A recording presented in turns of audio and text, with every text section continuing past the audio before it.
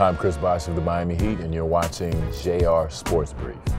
So look, folks, it's JR. You're checking out the Sport Brief. It's great to be home here in New York City. I just came back from Charlotte, where I was a professional NASCAR driver or maybe I wasn't a professional, but I certainly tried my best. Go ahead and click that video right there and subscribe so you don't miss the second part where I become a part of the pit crew. Yeah, I will take your ties in 15 seconds and disappear. But before I went down to Charlotte, I hooked up with my main man, Muhammad Wilkerson of the New York Jets. This is besides football, this has to deal with Breast Cancer Awareness Month, something that has affected him and his family personally. It aired on CNN HLN TV, and you know what? I'm giving you guys the exclusive exclusive just in case you missed it. Watch my main man Muhammad and his wonderful mom. I'm JR and I'm here with New York Jet All Pro. He's top five in the NFL in tackles and sacks, Muhammad Wilkerson and his mom Janice. And you just don't happen to be one of the best linemen in the NFL. You're also an outstanding human being, and I'm pretty sure it has a lot to do with mom here, huh? You know, my mom, who's a survivor, also my grandmother, she's a survivor as well.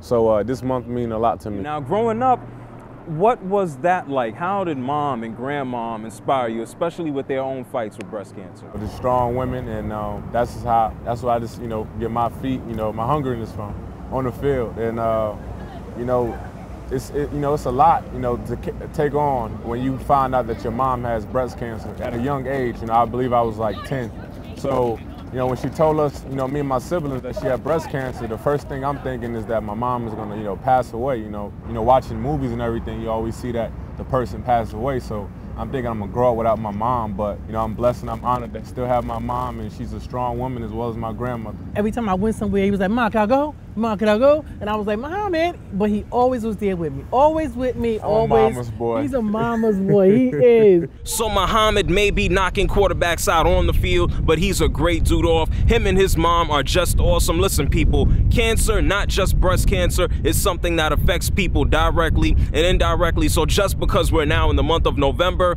don't necessarily forget about it. It's JR. Make sure you keep up with my main man, Muhammad, and subscribe to JR Sport Brief. You know what? I'm a mama's boy too.